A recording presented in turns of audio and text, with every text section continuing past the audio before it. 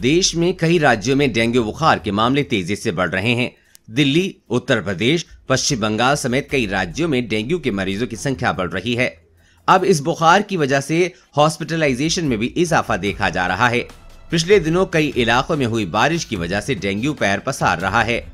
कुछ मामलों में ये जानलेवा भी साबित हो रहा है। डॉक्टर बताते हैं कि डेंगू के चार स्ट्रेन होते हैं। ये D one, D two D two और डी फोर है। लेकिन इनमें स्ट्रेन डी टू घातक होता है। इसमें बॉडी में इंटरनल ब्लीडिंग बीपी का लो होना और खून की उल्टी भी हो सकती है। इस स्ट्रेन से लक्षण इतने गंभीर हो जाते हैं कि मरीज़ की मौत भी हो सकती है। कई इलाकों में इस स्ट्रेन से भी मरीज़ पीड़ित हो रहे हैं। ऐसे में बचाव करना ज़रूरी है। अगर शरीर में बुखार के साथ बीपी लो हो रहा है और उल्टी भी आ रही है तो ये डी टू स्ट्रेन के शुरुआती लक्षण हो सकते हैं। ऐसे में तुरंत डॉक्टर की सलाह लेना बहुत ज़रूरी है।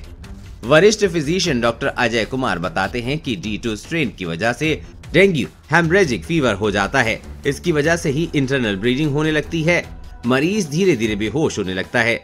अगर समय पे इलाज न मिले तो मौत भी हो जाती है। हालाँकि कुछ मरीजों में ये स्ट्रेन मिलता है, लेकिन इससे मरीज़ की स्थिति काफ़ी बिगड़ जाती है। दोबारा भी होता है खतरा।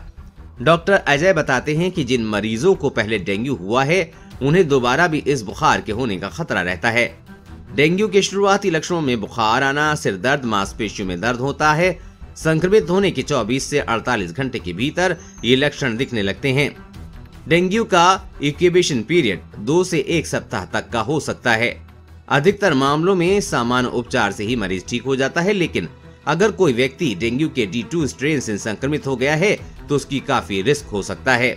देश और दुनिया की हर अपडेट पाने के लिए चैनल को सब्सक्राइब करें।